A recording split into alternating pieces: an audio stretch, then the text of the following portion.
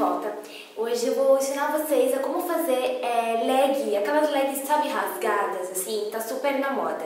Então é bem facinho de fazer, vocês só vão precisar de uma tesoura. Então se você quer aprender como que eu faço isso, acompanhe agora o tutorial.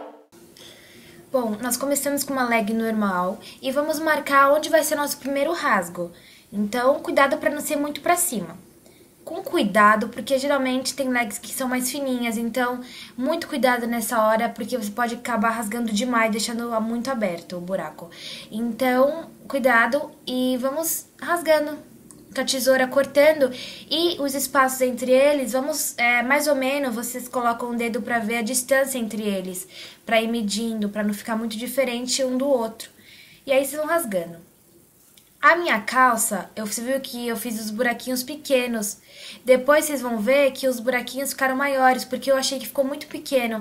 Então, se vocês quiserem abrir mais, é só vocês rasgarem mais. Eu aconselho a vocês a fazerem um buraco pequeno, vestir a calça, ver como ficou. Se quiserem, vocês abram, façam um rasgo maior. Aí, do outro lado, a mesma coisa, vão medindo mais ou menos para ver, para ficar igualzinho e certinho. E vão rasgando do mesmo jeito. É só isso, basicamente, que você tem que fazer né? Com muito cuidado, para não rasgar muito. E vão medindo. Bom, é, é isso que vocês têm que fazer na calça. Voltei. Viram quanto é fácil fazer? A gente só precisa de uma tesoura e mais nada. Vou baixar um pouquinho a câmera para vocês verem o resultado como ficou. O resultado ficou assim da calça. Tem que tomar muito cuidado, porque a leg ela tem que ser mais fina. Então tem que fazer com cuidado isso.